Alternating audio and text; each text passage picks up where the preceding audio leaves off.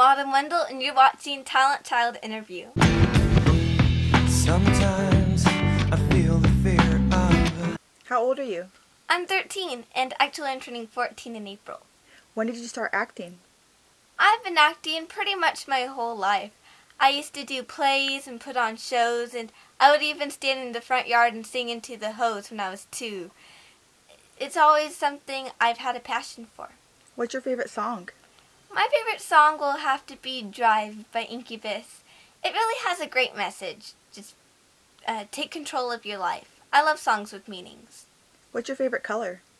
My favorite color is purple. I love purple. See, uh, most everything I have is purple. It's it's a fun color. Who's your celebrity inspiration? My celebrity inspiration is Brandon Boyd, the lead singer of Incubus.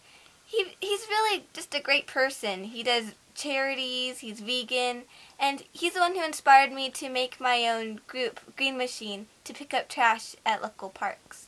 What's your favorite movie? My favorite movie is The Princess Bride.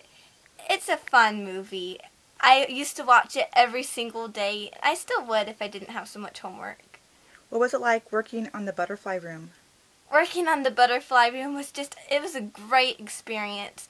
Everybody was so nice even if I even though I had a little part, they still welcomed me. And it's something I will never forget. What made you want to start acting? Acting, it's fun. It's what I love to do and always have loved to do. Being a character and using my imagination to create a whole new world, I love it. What's your favorite TV show? My favorite TV show is I Love Lucy.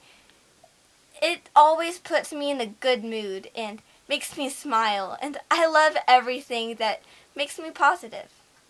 What's your favorite clothing line? Now, I really don't have a favorite clothing line. To me, it doesn't matter what brand name you wear. It just matters if you like it and if it portrays your personality. Thank you. Thank you.